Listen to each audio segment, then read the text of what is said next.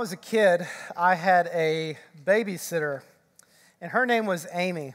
And Amy was uh, the kind of person you would want to be your child's babysitter. She was incredibly responsible. She was probably the oldest child, so you know she like followed all of the rules, and she wanted me to do the same. Uh, she was once again really kind, kind of quiet. Um, and, and really, my parents had hired her to kind of keep me and my sister in line while they would be off working during the day. And so, Amy's job, watch over us, make sure we don't kill ourselves, whatever that might be. Um, and, and she was pretty good at it, um, except um, I did not want to be kept in line. I wanted to have a good time. You know what I mean? You're young. I was probably eight or nine at the time. And one day I was out playing in the backyard. And, you know, I, I, didn't have an Xbox like my kids. You know, we had one channel. There's not much exciting to watch on television. So I was outside playing, and I went behind my dad's shed, and then I noticed it. There was a small pile of brush back there, and I thought, I know what I'm going to do. I'm going to build a fire. Now, Amy, the good babysitter, would have never advised me or allowed me uh, to start the fire. Uh, so I did what any clear thinking eight year old boy would do. I carefully crept into the house. She was busy reading a book. And so I snuck past her in the living room, into the kitchen, uh, got up on the counter in the kitchen, into the upper cabinets where the matches were kept, stowed a few of those bad boys in my pocket down off the counter, and then crept back through the living room, past the babysitter out the back door. She was none the wiser. It was on. And so I made my way back behind my dad's shed to this little pile of brush, and it was kind of cool. You know, like, it was kind of damp though, and so I wasn't there to make a little bit of smoke. You know, like, I wanted to build a fire. And so, once again, I did what any clear thinking eight year old boy would do. I went and found an accelerant for the fire. You know what I mean? If you want to build a fire, you clearly need gasoline, or that was my thinking when I was a kid. So I go into my dad's shed, find a can of gasoline, and y'all, this was the first time I'd ever experienced it in my life. And if you're a man, you know what it is. When I poured that gasoline on the fire, it went woof and then I was hooked. I'm like, that was great. Like, I need to do this again. That was amazing. That is cool whether you're 8 or 38, right? Guys, it never gets old. It's just a really cool thing to have happen. And so I did it a few more times because it was really awesome. And let me just tell you, I didn't just have a little fire and a little brush pile. Like, it was burning and it was exciting and it was really awesome all the way up until the time that I did it when the fire traveled up the gasoline and actually caught the end, the nozzle of the gas can on fire. And so I'm like, what am I going to do? And so the only thing my mind could tell me to do at that minute was to drop the gas can and run. And so I ran to where my dog's water dish was, and I'm like, I'm going to handle this. No big deal. But when I turned back around, there was a blazing inferno behind me. And I'm like, I'm not going to be able to hide this. And so I go and I try to douse it with water, but it ain't happening. You know, it's a massive fire behind my dad's shed. And finally, after several trips, I began to get the fire to, to die down, and then I saw it. I had melted all of the paint off the side of my dad's boat that was just pretty close to where I was burning this fire. And I'm like, I'm never going to be able to hide this. Like, I may not make it out of this with my life. It was a really bad day. So here's the thing the, the babysitter Amy, her job was to keep me out of trouble. Um, she would have clearly told me that was a bad idea. She laid down the rules. I was not supposed to set things on fire. But the problem wasn't with what was right there or her communication thereof. It was that in my little heart, I wanted to play with fire. And as a result, things got burned. In Galatians chapter 3, Paul is writing to the people of Galatia, and he's talking to them uh, about the difference between the law and grace. The law is a lot like that babysitter. She's, it, it was there to protect us, it's there to kind of guide us, but it couldn't change our hearts. The people at Galatia, they had come to a place where they were depending upon the law to make them righteous or to justify them before God, but it could never do that. It could never change their hearts. It could never make them clean. It could point them in the right direction, but it could never fully uh, justify them before God. And so Paul is writing in the letter and saying, listen, um, two ways to relate to God. One's on the basis of the law, that is empty, uh, but there's a much better way. And it was actually God's intended design for the entire span of history. And that's not that you would be justified on the basis of the law, but rather that you would be justified on the basis of faith in Jesus Christ alone. So if you have your Bibles, turn with me to Galatians chapter 3. And he's going to illustrate this for us. This was God's plan the whole time.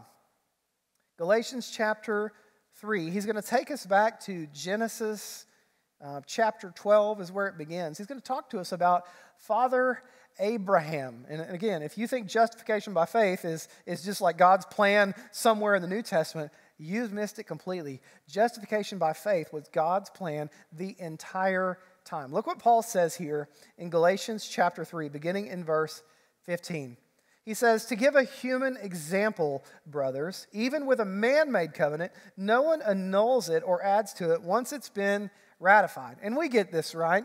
Um, if you set up a, a contract with somebody, you're going to go buy a used car or maybe a home or for whatever it might be that you would want to purchase. When you sign on the dotted line, the terms of the agreement are set in stone. You don't get to go back and renegotiate and be like, you know, I know I told you I was going to pay this much for the car, but I would like to pay half that, right? Once you sign on the dotted line, the agreement is made firm. You don't get to change it after the fact, right? So that's where Paul started.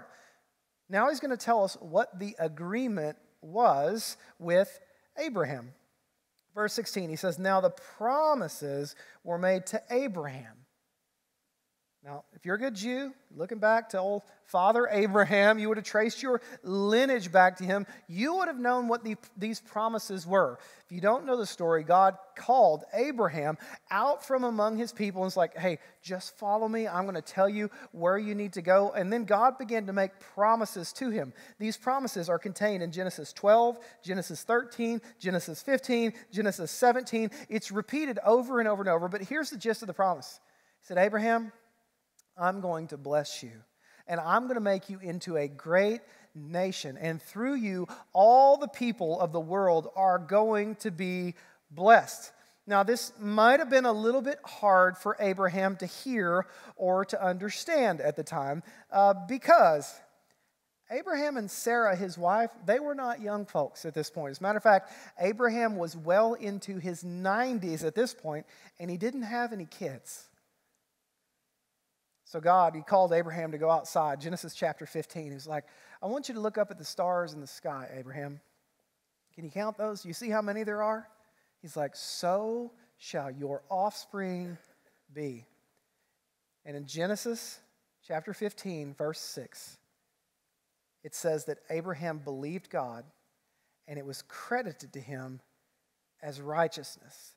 It was his belief that led to his righteousness. He was justified by faith in God. Now, uh, when it comes to a promise, a promise is something that depends entirely on the promisor, right? So uh, today after the service, I'm like, hey, we go to lunch. I need to talk to you. I've got something really important I want to tell you. And if I took you to lunch and said, listen, I just like you. I think you're fantastic. You're the, the best servant of the church. You're the best looking. I don't know, whatever the basis of it would be. If I said, I want to give you $1 million, um, all of the responsibility for fulfilling that would be on me, right? Which in my case, if I promised you that, I couldn't come through with it. I don't have a million dollars. That would be a total lie and it wouldn't work out. But here's the thing about God He keeps all of His promises. And before Abraham even knew about the law, before he had done any good works before God at all, God made a promise to Abraham, and all Abraham did was believe God, and it was credited to him as righteousness. Justification by faith was God's plan the entire time. Through all of history, throughout the entire Bible, this was his plan. But the Jews, somewhere after Abraham, they had gotten this mixed up. And they instead uh, began to believe that they would be justified by a couple of things. The first was their lineage, and the second was by observance of the law. Now, y'all sang the song in children's church, you know it. Um, Father Abraham, and you get a march, right? Had many sons, and many sons had Father Abraham, and I am one of them, so are you. So let's just praise the Lord, right? It's a great song. Every good Jew would have been able to trace their lineage back to Abraham, and they would have thought, listen, I am Abraham's blood. I'm a part of his descendants. The whole world is going to be blessed through me because I'm a part of Abraham. Like God made a promise, He's going to bless him. I get to receive that, and then God's going to bless the world through us.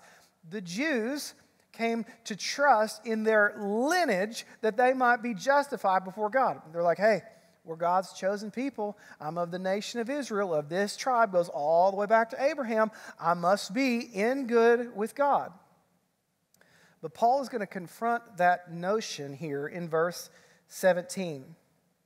He says, I'm going to go back to 16. He says, Now the promises were made to Abraham and his offspring.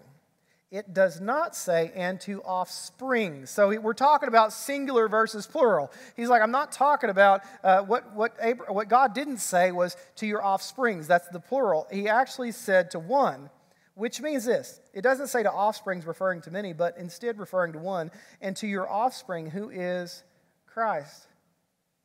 And what Paul is saying to the Jews and any of the people at Galatia is hey, you, you can't be depending upon your lineage.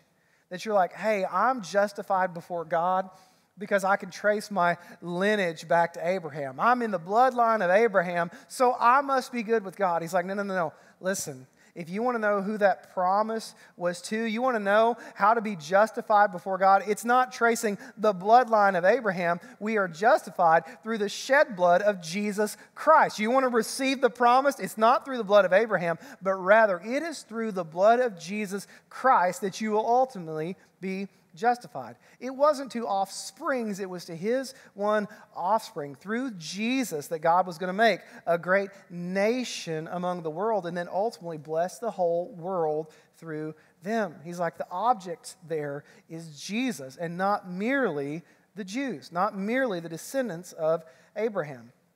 Now, the other thing that they trusted in to justify them before God was the observance of the law. So here's what Paul says as they move forward. Verse 17, he says, This is what I mean. He's trying to clarify. The law, which came 430 years afterward, does not annul a covenant previously ratified by God. And so the question that would have maybe come into the minds of any good Jews or the people who were falling under the influence of the Judaizers is how was Abraham justified? Because Abraham lived 430 years before the law was ever given, which means Abraham never kept the law.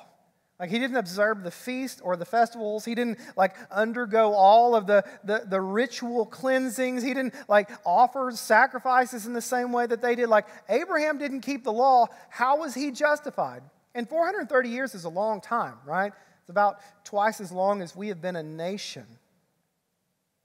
It was God's plan the entire time to justify the world through faith in Jesus and not through their lineage or through their observance of the law. Paul's like, How do you think people were saved before? How do you think Abraham was declared righteous? It wasn't by observance of the law because it didn't exist. And then he tells us something about the law that's really important. He's like, Remember, when you have an agreement, you don't get to change it after it's been signed. God made a promise to Abraham, and he's going to keep his promise. Like that was not on contingent later upon their observance of the law. It was a promise made by God that he is absolutely going to fulfill. For, verse, six, or verse 18, for if the inheritance comes by the law, it no longer comes by a promise, but God gave it to Abraham by a promise. He's like, God's not a liar. He made a promise, and He is going to keep it, and it is not contingent upon observance of the law. The law has no part in our salvation. That is entirely the work of Jesus Christ, which we receive by faith in Him. Now, here's a question that I had, and if you've been around church for very long, you've read much of the Old Testament, I remember having this growing up and trying to reconcile like the gospel, the good news I read in the New Testament, with the law of the Old Testament. And Paul anticipates this, and he, he asks a question for us. Look at what he says in verse 19. He says, Why the law then? Y'all read Leviticus and Deuteronomy? There's a lot there. Why the law? Why, why did God even give the law? If He wasn't saving people through the law, what was He actually doing? In, in verse 19, it says, It was added because of transgressions until the offspring should come to whom the promise had been made, and it was put in place through angels by an intermediary. Now, an intermediary implies more than one, but God is one. Sin entered the world through Adam and Eve. And as a result, all of us were born with a sin nature. It is a proclivity to sin, like all of us have sinned and fallen short of the glory of God. The law was added, like that babysitter that I had, to keep us in line, to point us in the right direction. Now, if you were here a couple of weeks ago, kind of big picture of the law, it was there were three purposes that it had. One, it showed us God's holiness. The second thing the law did was show us our utter sinfulness. And if God is completely holy and we're completely sinful, what we understand is that we couldn't have fellowship with God. Like light can't have fellowship with darkness. And so the primary purpose of the law is to show us that we needed a Savior. That's why the law was given. 430 years after Abraham, the law was given to point us toward the Savior who was to come. The law prescribed sacrifices, blood sacrifices that had to be offered if our sins were to be atoned for, right? It was pointing us toward Jesus. Now, when it says here that the law was put in place through angels by an intermediary, and then an intermediary implies more than one, but God is one, I just need to confess to you guys, I don't know exactly what this means. Uh, I spent a lot of time studying this week. There's a lot of commentators and scholars who disagree widely on specifically what this means. And, and while we might be able to get into the various views, uh, what I think is important for you to understand here is that God's plan the entire time, throughout all of recorded history, since the founding of the world, God planned to justify the world through faith in Jesus Christ and not by observance of the law. In verse 21, he kind of continues answering the question what is the law for? He asks, Is the law then contrary to the promises of God? And he says, Certainly not. He means God had a plan for the law, and he goes on further to tell us what that plan was. He says, For if a law had been given that could give life, then righteousness would have been according to the law. That's how it would have been given. But that's not the case. He says, But the scripture imprisoned everything under sin so that, so that the promise by faith in Jesus Christ might be given to those who believe. The scriptures, the law, they were given to us to imprison us under sin, to make it really clear to us that we were sinful, and as a result, we needed a Savior. I don't know if you've ever tried to obey the law. Like, read the old covenant, like, read that stuff. Man, there's a ton there, and we can't uphold it. If you just shrunk it down to the 10 commandments, and that's all you tried to observe, you will find that you can't keep it.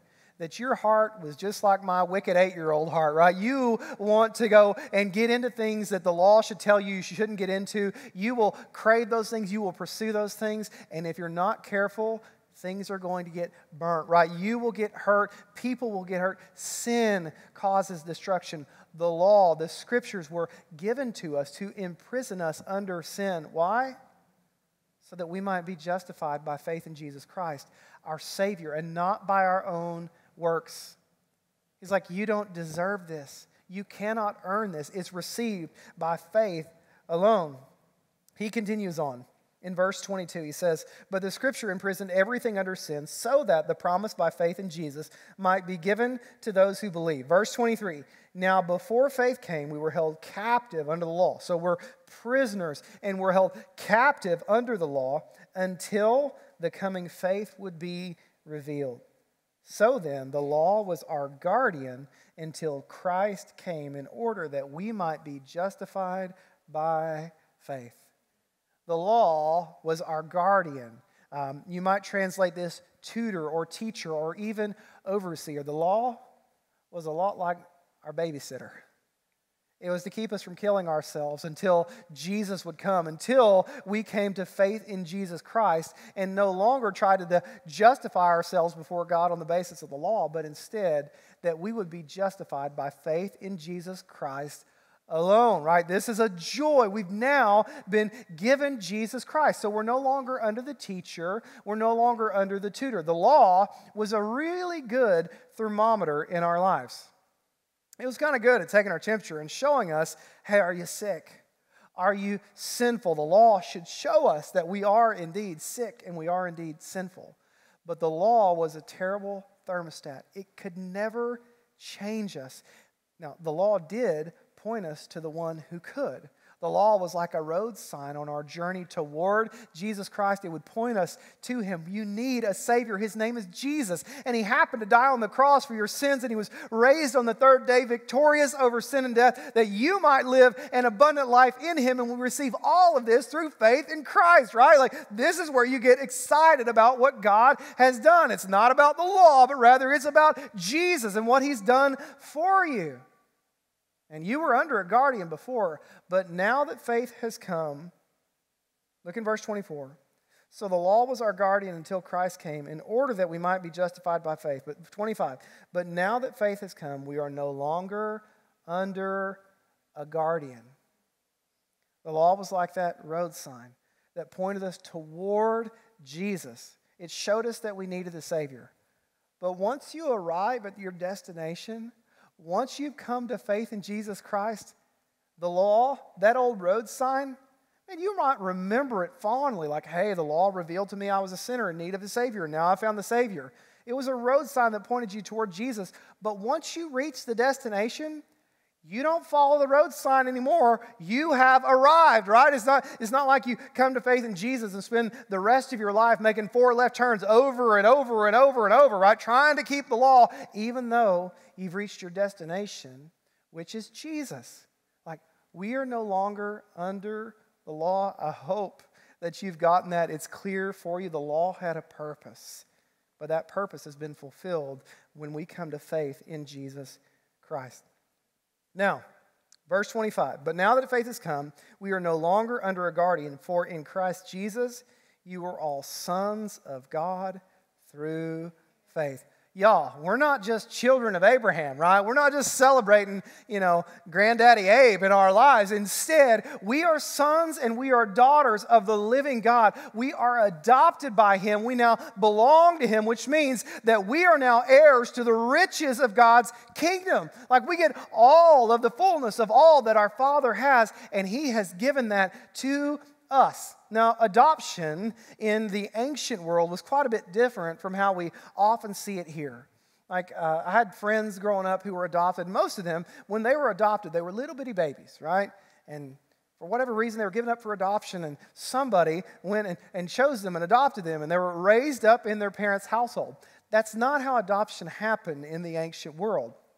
Instead, in the ancient world, you would have a ruler or a noble or a prince, someone of great means who owned a great estate. And he might look at his heir and be like, we missed it with that boy. Like, he is not going to handle this very well. I, I don't think I can entrust my name and my estate to him. And so they would go looking for a worthy heir, someone who could carry on the family name and carry on the family's estate, that would manage the affairs well and they would find a grown man who they believed to be faithful, who they believed would represent the family name well and, and manage the estate well, and they would adopt him. And they would make them the heir apparent, the heir of their fortune, of their estate, of their kingdom, depending on how powerful they were. Now, you and I might look at ourselves and be like, I am not a worthy heir. I don't deserve to be adopted by God. I'm not going to handle this stuff well. Like I'm there's no way I'm that person. Well, here's the good news. When we come to faith in Jesus Christ, we are made new, right? We become new creations in Christ Jesus. The old has gone, the new has come. And so we don't manage God's estate or bear his name in our own strength or our own power. We are now new creations who, who live out our new calling as heirs, as children of God, according to the power of the Holy Spirit, which is profoundly different. Look what he says here in verse 28. He says, You are not what you once were. You're not the label that you once wore. You are no longer constrained by the things that once constrained you. You are now children of God, and this is the primary identity of your life. He says, are, There's neither Jew nor Greek, nor slave nor free. There's no male and female, for you are all one in Christ Jesus. And if you are Christ, if you belong to Christ, then you are Abraham's offspring and heirs according to the promise. Do you want to know who inherits the promises or the promise that God made to Abraham? Going to bless you, make you into a great nation, bless the whole world through you. Do you know who gets to participate in that promise? And it's not just the sons and daughters of Abraham. Man, it's the sons and daughters of God. And we, we enter into that promise. We receive that promise by faith in Jesus Christ. Y'all, we did not earn that, right? We, we don't deserve for God to do that. But that is the free gift that God gives us as a result of the promise. It was God's plan the entire time. The law was only supposed to point us toward our need for Jesus. I hope that you have received that by faith and you are living out your life as a son or a daughter of God. And that you don't stare your limitations in the faith, face every day and say, Man, I can't because. But I hope that you see that you're a new creation in Christ Jesus. You are an heir and you have received all of the benefits and the riches of God's kingdom. Now, as we close today, I want to talk to you about some of the, the benefits of being an heir to God's kingdom. You know, I went to college at Oklahoma State, and uh, I had quite a different experience from some of my friends, some people that I got to know there. Uh, when I was at Oklahoma State, I was pretty poor. Uh, so my, my dad would call me and be like, hey, you haven't been home in a long time. Like, you need to come see your mom. And I would say, all right, Dad, if you'll buy my gas, like I can come home and see you. And he'd be like, okay, sure, we'll, we'll give you a tank of gas. Come home and see your family. But I had a friend at Oklahoma State who who lived quite a bit differently. She was indeed an heir. And when she wanted to go home to see her mom and dad, you know what she did? She called the pilot. And he would come pick her up in the jet and he would take her home. Y'all, heirs live quite a bit differently than the rest of the world. Like they have a different worldview and a different outlook on life. They are not constrained by the same things that constrain non heirs. So, number one, privileges, the, the privilege that we have as heirs of God. The first is this heirs enjoy the privilege of sonship or daughtership. I didn't want to write that word out because it's a weird word, but heirs get to enjoy the privileges of sonship or daughtership. And here's what that means for you you have direct access to the living God of this world who spoke all that we know and see into existence. Like, God isn't constrained like we're constrained, right? He doesn't like, oh, well, here, I'm going to give you a little bit of gas money for, for your car, right? He's got the jet. God owns it all. He speaks things into existence and He welcomes us and He invites us to come to Him and say, God, here is that thing that's on my mind. Here's the thing that's concerning me. Man, here's that burden that's been weighing me down. God, would you work on my behalf? And He is a good Father who delights to work on behalf of His children. Now, sometimes He might have to tell us no. Sometimes He might let us wrestle with things for a while, but we have full rights as sons and daughters of God to boldly approach the throne of grace for help in our time of need. Like, I want you to know this God is for you. He knows your name. He knows what you're wrestling with. He knows that thing that's keeping you up at night, and He wants to work on your behalf. He wants you to come to Him with, with your struggles and with your problems.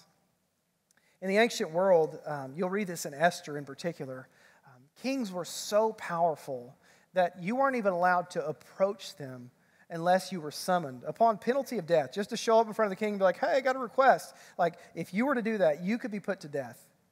But Tim Keller points out that the kingdom of God is so much different. He asks this question He says, Do you know who dares to wake a king up at 3 a.m. and to ask him for a glass of water in the middle of the night? Do you know who has that privilege? It's the king's son and daughter. And the king, that powerful king, delights to get up in the middle of the night and to get his child, his son or his daughter, a glass of water because they ask him for it. And maybe that's you today. And there's something you've been carrying. And you have to remember that you're a son or a daughter and that God cares for you. And it's time to bring that thing to Him in prayer and ask Him to work on your behalf. You might not be able to handle it, but He certainly can. Number two, heirs understand the responsibility of, of stewarding what has been entrusted to them.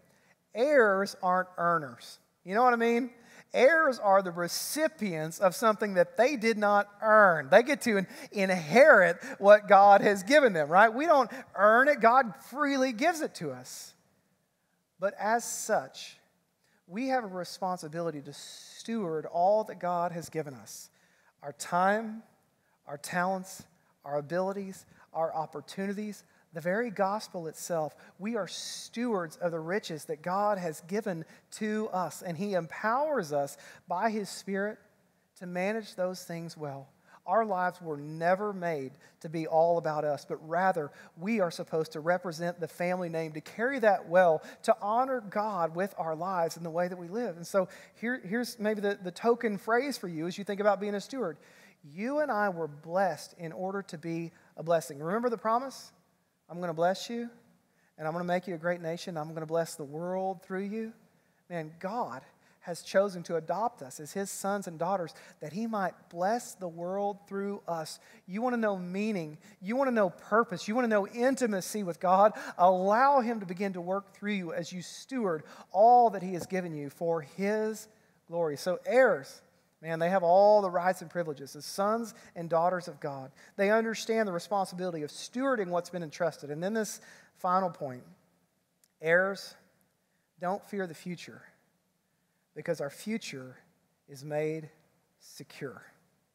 Heirs don't fear the future because our future is made secure. I love uh, King David, who wrote the 23rd Psalm. King David was, a, was a, a man who, as a young boy, had slain Goliath. He had seen the power of God at work in him and through him. They sang songs about his military conquest. It's like, hey, Saul has slain his thousands, but David has slain his tens of thousands. He was a great warrior who became a powerful king. He commanded mighty armies.